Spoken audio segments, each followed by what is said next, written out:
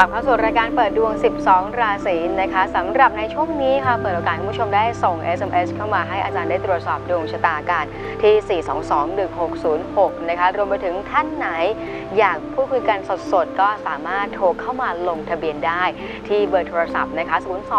496 0493 และ 02 496 0494 นั่นเอง มากันที่ SMS ท่านแรกกันเลยนะคะ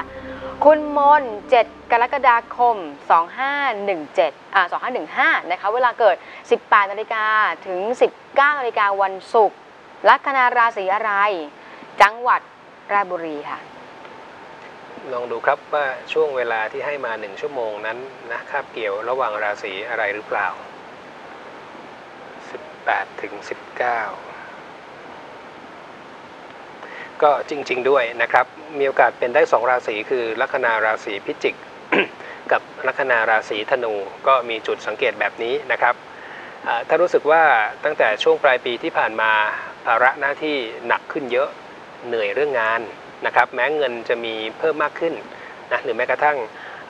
มีปัญหาสุขภาพเป็นอะไรและหายช้า อันนี้คุณเป็นลัคนาราศีพิจิก แต่ถ้าเป็นธนูนะ ชีวิตจะมีความเปลี่ยนแปลงในทางที่ดีขึ้น ตั้งแต่ช่วงกลางปีนี้เป็นต้นไป โดยเฉพาะถ้าคุณมีปัญหาสุขภาพอยู่นะครับ SMS ต่อมาค่ะ SMS ต่อมานะคะ คุณเจ้าของ SMS คุณรัชพล 30 เมษายนค่ะ 2522 นะคะ เวลาเกิด 16 นาฬิกาตรงวันจันทร์ครับงานที่ทำมั่นคงหรือเปล่า จะได้เปิดร้านเองไหม แล้วก็จะมีรถหรือเปล่าค่ะอ่า จริงๆแล้วสำคัญอยู่ที่อาชีพนะครับ ว่าคุณอยากจะทำอะไรนะผมก็จะไกด์ในส่วนของกลุ่มอาชีพที่เด่นที่สุดให้พิจารณา เสาในดวงสวยสุดนะครับ เสาหมายถึงอะไรสวนเกษตร ค้าของเก่า มินิมาร์ทเบ็ดเตล็ดโชห่วยนะครับสะดวกซื้อหรือแม้กระทั่งในส่วนของเกี่ยวข้องกับสัตว์ทำฟาร์มปศุสัตว์ทำ pet shopนะครับทำธุรกิจที่เกี่ยวข้องกับพวกพลังงาน แก๊สน้ำมัน ปิโตรเลียมเหมืองแร่ อันนี้คือพูดในกรอบในสเกลใหญ่ อันนี้คือกลุ่มที่เด่นที่สุดในพื้นดวง เดี๋ยวลองดูจะมีกลุ่มอื่นอีกหรือเปล่าอ่าอีกอันหนึงจะเป็นในเรื่องของโหราศาสตร์นะ อันนี้ถือว่าสวยทีเดียวครับ SMS ต่อมาค่ะ คุณเทนค่ะ เบอร์โทรศัพท์ 00อ่าเข้าใจว่ามันอาจจะดูสวยนะฮะ แต่ว่าในแง่ของแม่บทของดาวภัยอาเพศมริตยูครับ นะก็หมายถึงในเรื่องของความพลิกผัน สิ่งที่ไม่ได้คาดคิด แม้ด้านดีจะเสริมในเรื่องของความคิดอ่านที่สร้างสรรค์หรือกระทั่งในเรื่องของต่างประเทศก็ตาม ถ้าชอบเลขที่เป็นคู่หนึ่งหนึ่งคือราชาโชคครับ มีโชคแบบยัดเยียด ความสะดวกสบายมีเสน่ห์ห้าห้าก็มั่นคงเป็นสองเท่า สนใจเรื่องของศาสนามากขึ้น ซึ่งเป็นเรื่องที่ดีอยู่แล้ว หรือแม้กระทั่งมีโอกาสได้ใช้ชีวิตต่างถิ่นฐานในบ้านปลาย 99สำเร็จอย่างน่าอัศจรรย์และจะได้รับพลังจากสิ่งศักดิ์สิทธิ์ครับ SMS ต่อมาค่ะ SMS ต่อมานะคุณอาชวัต15 กุมภาพันธ์นะคะ2522 ค่ะ เวลาเกิดตี5 45 วันพฤหัสบดีครับถามงานถามเงินค่ะ ก็ต้องถือว่าฟ้าสว่างแล้วนะ ตอนนี้ย่าง 37 37 กับย่าง 38 2 ปีนี้ออกแรงเยอะๆ ผมถือว่าเป็นจังหวะเวลาที่เป็นขาขึ้น ในส่วนของงานนะแม้จะมีการเปลี่ยนแปลงโยกย้ายหน้าที่ความรับผิดชอบ แม้จะมีความยากลำบากเวลารับผิดชอบสิ่งใหม่ๆนะครับปีนี้หาโอกาสนะวัดวาอารามแห่งไหนมีสิ่งปลูกสร้างให้คุณไปถวายปัจจัย สนับสนุนพวกวัสดุก่อสร้างอิฐหินดินทรายพวกนี้ตรงที่สุดออกแรงเยอะๆครับ SMS ต่อมาค่ะ คุณหนานะคะ 20 มิถุนายน 2509 ค่ะ เวลาเกิด 5-6โมงเย็นวันจันทร์ถามงานถามเงินแล้วก็คู่เป็นคนยังไง ปีนี้เกณฑ์ความรักไม่ดี ถ้ายังโสดไม่ต้องรีบ ถ้ามีคู่อยู่แล้วประคับประคองให้ดี คู่จริง ๆ ของคุณควรจะมีคุณสมบัติ 4 ข้อดังต่อไปนี้ เป็นเงื่อนไขหรือนะครับ สูงวัยกว่า6ถึง7ปี หรือมีตำหนิ หรือลักษณะการคบหาอยู่กันย่างมีระยะห่างและหรือสุดท้ายคือมีเชื้อสายต่างประเทศนะครับ อันนี้คือคู่จริง ๆ จะต้องเป็นแบบนั้น SMS ต่อมาค่ะ SMS ต่อมาคุณนัทธนิชา 23 มิถุนายน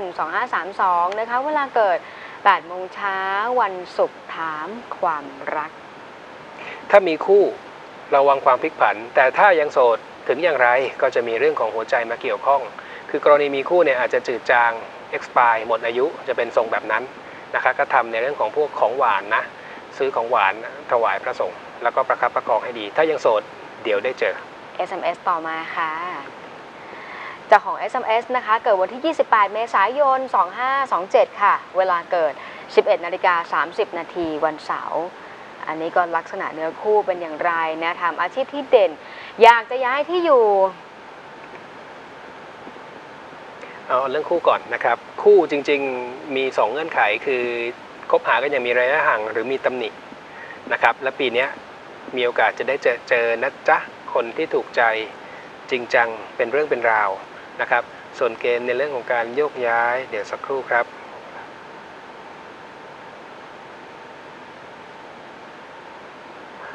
ถ้ายังไม่รีบร้อนนะ เข้าย่าง 23 ไปก่อน แล้วคุณจะมีที่ใหม่ที่ดีที่ถูกใจด้วยครับ SMS ต่อมาค่ะ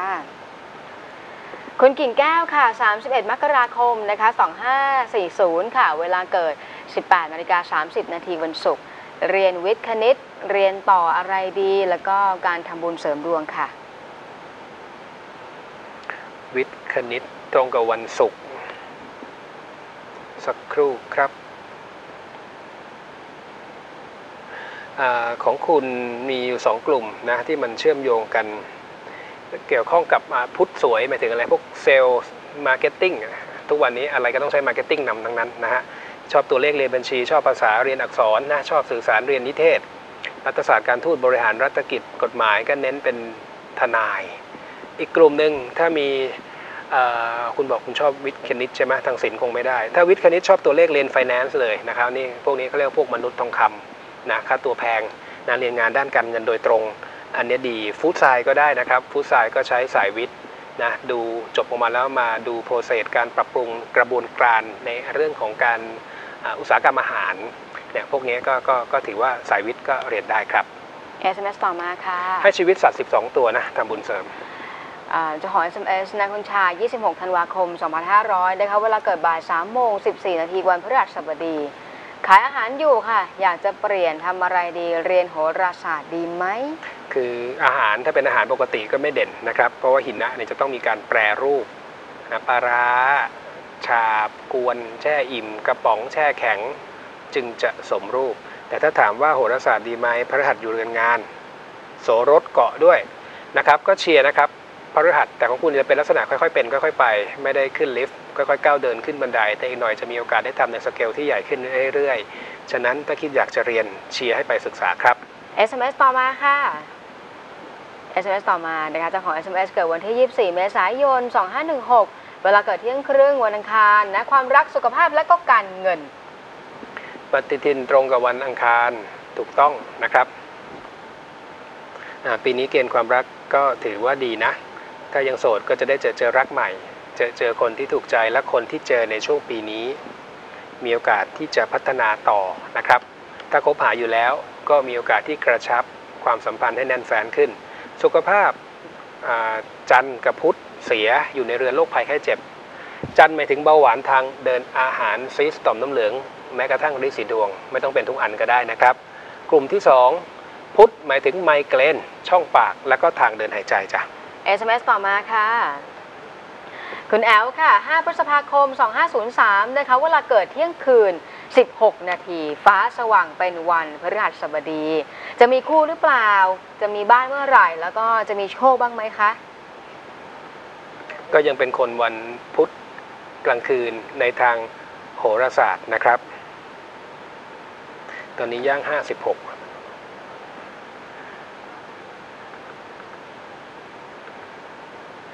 ในช่วงอายุย่าง 57 และ 58 พอจะมีโอกาสสมหวังนะ ในเรื่องของการามีบ้าน อ๋อ อย่างนี้ฮะ ลากยาวถึงย่าง 59 เลย ฉะนั้นเอาแบบที่ให้ชัวร์ เอาแบบที่เราพอใจในช่วง 3 ปีนี้ ถ้ายังไม่พร้อมจริง ๆ ก็ยังมีเกณฑ์ลากยาวจนถึงย่าง 59 แต่ในแง่ของการเสี่ยงโชคด้วยพื้นชะตาไม่เฉียร์ครับเอาละค่ะมาในส่วนของสายกันบ้างดีกว่า สวัสดีค่ะ สวัสดีสวัสดีครัค่ะบสวัสดีค่ะ สัญญาณไม่มาอ้าวงั้นเดี๋ยวเดี๋ยวติดต่อกลับไปใหม่ครับ มาไม่เอ่ย สวัสดีค่ะ ครับผม มาผมแล้ว ผู้ดีพูดครับจ้าจ้า สวัสดีค่ะ เอาล่ะนะวันเดือนปีเกิดเวลาเกิดค่ะคุณผู้ดิต ครับ วันวันที่12พฤษภาคมวันอังคารครับพศอะไรคะ2507ครับจ้ะ 12พฤษภาคม 2507 กี่โมงเอ่ย17นาฬิกา30นาทีครับ 17นาฬิกา30 นาทีวันอังคาร ครับ ตรงกับวันอังคารครับคุณภูดิตครับ อยากถามครับอะไรอาจารย์คะจะถามเรื่องการงานการเงินเนี่ยครับ งานตอนกับนี้รู้สึกว่างานมันติดขัดเลยครับทำอะไรอยู่คะ ตอนนี้เรื่องของงาน อ๋อผมเป็นพ่อค้าพ่อค้าคนกลางครับ ซื้อมาขายไปครับอืมเอ่อเกี่ยวกับอะไรครับ เดี๋ยวก็อิฐครับอิฐอิดครับอิฐแดงก่อสร้างครับจ้ะแต่คือเราไม่ได้ลงทุนเองถูกไหมฮะแค่รับออเดอร์มาแล้วก็มาหาของให้เขาใช่ครับผมเป็นพ่อค้าคนกลางเขามีลูกค้าสั่งมา ผมก็ไปสั่งแล้วก็เอาไปส่งครับ คือจริง ๆ ถ้าถามว่าถ้าถามว่าด้วยด้วยพื้นชะตาเนี่ยนะทำเป็นครับลักษณะคนกลางในดวงเนี่ย ก็ผมใช้คำว่าไม่ค่อยเด่นนะเหมือนเหมือนจะดี แต่มันก็ไม่ไม่ต่อเนื่องไม่ยั่งยืน ผมฝากไว้เป็นการบ้านนะ ถ้าคุณจะทำเกี่ยวข้องกับในเรื่องของวัสดุก่อสร้างเนี่ย หรือแม้กระทั่งเรื่องอิฐหินอะไรพวกเนี้ย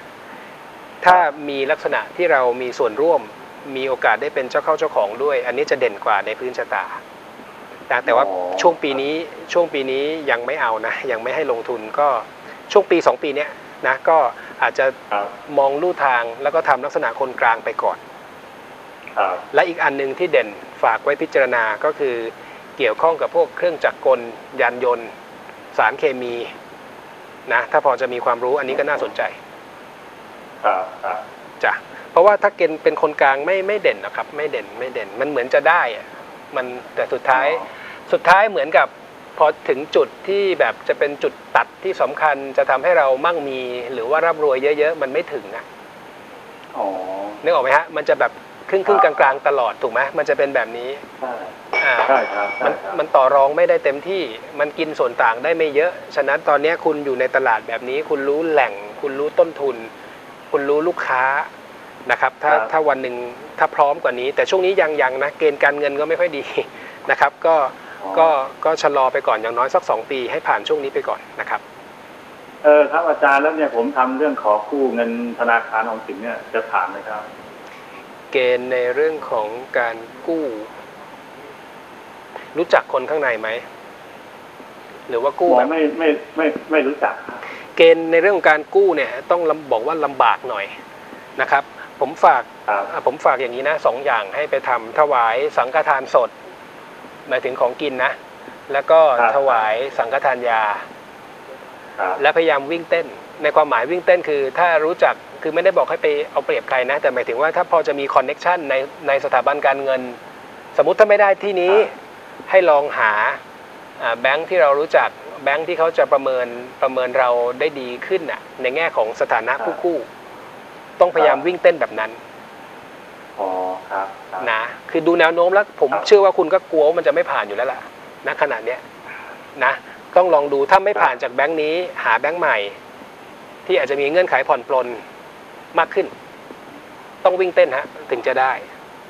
อ๋อครับเออแล้วอาจารย์ถามเรื่องแล้วไอ้ที่ผมเป็นจะเป็นในหน้าขายขายที่เนี่ย พอจะทำได้ไหมครับก็ในหน้าอย่างที่ผมบอกอะมันก็ไม่ค่อยสุดหรอก แต่ว่าปีปีจรเนี้ยอย่างที่ผมพูดตั้งแต่ตอนแรกเนี่ย ที่บอกว่าอาชีพที่เด่นกว่าคืออันนั้น แต่ปีเนี้ยยังไงก็ให้เกาะในกลุ่มเดิมในเรื่องของในหน้า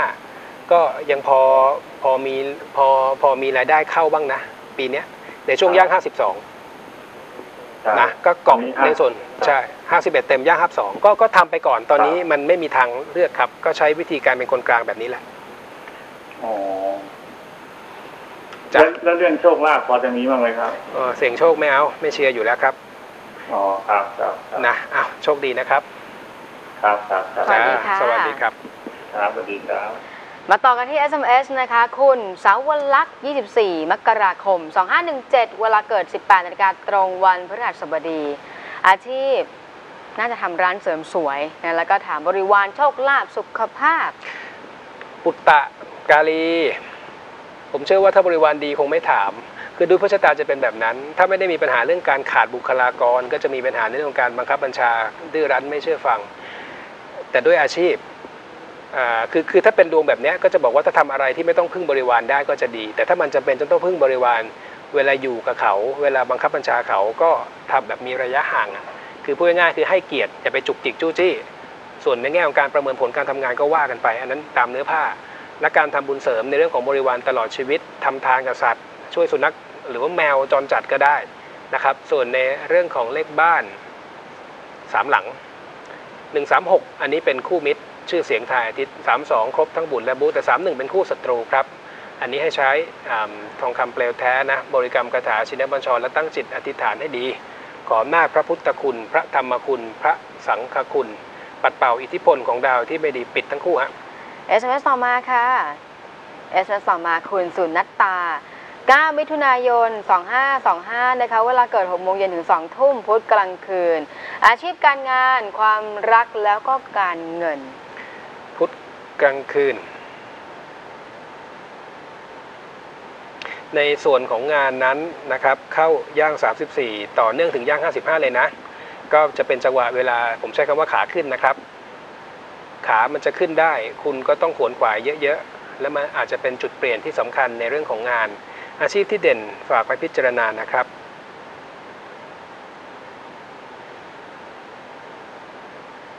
สักครู่ครับาดาวสุกสวยนะครับ ถ้าเป็นลูกจ้างก็เป็นลักษณะพวกกุ๊กเชฟก็ได้ ในเรื่องของการเงินก็ได้ ถ้าทำธุรกิจเองก็เรื่องของกิน สิ่งสวยงาม ความบันเทิงนะพวกหนังเกมเนี่ยแต่ไม่ใช่ธุรกิจกลางคืน อันนี้คือสิ่งที่เด่นและอืมกรรมะกำลังจะเป็นสีในช่วงปีหน้าด้วยนะครับเอาล่ะนะคะมาที่ SMS ต่อมาค่ะเจ้าของ SMS เกิดวันที่ 20 พฤษภาคม 2519 เวลาเกิดนะคะ 9 นาฬิกาถึง 9 นาฬิกา 30 นาที อาชีพค่ะทำอะไรดีบอกว่าตอนนี้ที่ทำเนี่ยคือเย็บผ้าอืมเหมาะหรือเปล่าพฤหัสไม่ได้ไม่บอได้กบอกนะควัรับนค่ะ 20 พฤษภา 19 9โมงถึง 9 โมงครึ่ง ถ้าเย็บผ้าสุกหินะก็ต้องตัดเขาเรียกว่าอะไรปรับปรุงซ่อมแซม ปะชุนแก้ไข ตัดขากางเกงเปลี่ยนทรงอะไรเงี้ยจึงจะสมรูปนะถ้าเป็นตัดเฉยๆไม่ได้นะไม่ได้เน้นซ่อมก็ถือว่าไม่เด่นในพื้นชะตาดวงจะดีขึ้นช่วงไหน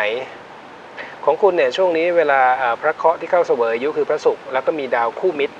เข้ามาแทรกก็ถือว่าโดยรวมให้คุณนะ พียงแต่ว่าเราเองก็ควรจะบูชาพระเคราะห์ที่เข้าเสวยอายุเรา ของคุณในช่วงนี้จนถึงช่วงย่าง 52 เป็นช่วงเวลาที่พระศุกร์เข้าเสวยอายุ ก็ไปเช่าพระปางรำพึงมาบูชานะครับ ถ้าสะดวกให้ไปเช่าหลวงพ่อพุทธรำพึงที่วัดถนนสุทารามอ่างทองแต่ไม่สะดวกก็จากวัดใกล้บ้าน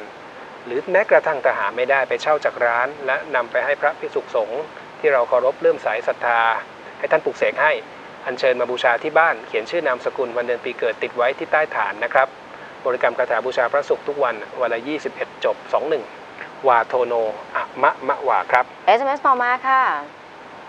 คุณวีระนะคะ 12 ธันวาคม 2502 ค่ะ เวลาเกิด8นาฬิกา 25 นาทีวันเสาร์ถามโชคลาภถามการงานแล้วก็เคราะห์ปีนี้ งานถ้าไม่ได้มีงานเยอะ ก็เจองานยาก หรือแม้กระทั่งปัญหาเรื่องงานการโยกย้ายเปลี่ยนแปลง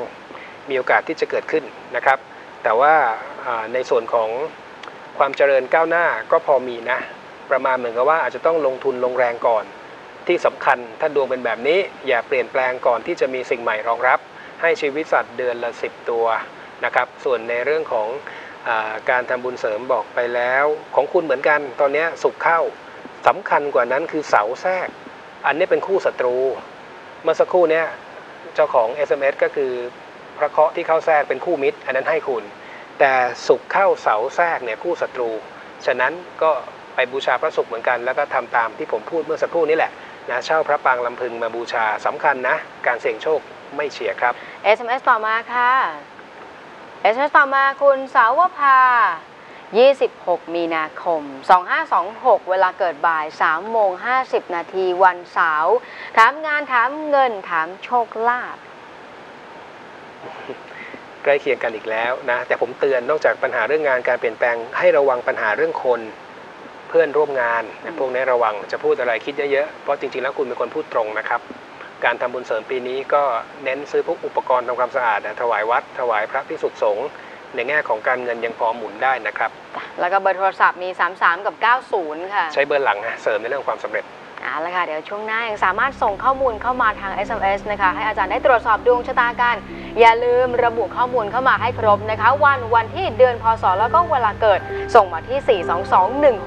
4221606 พักกันสักครู่ค่ะ ครับ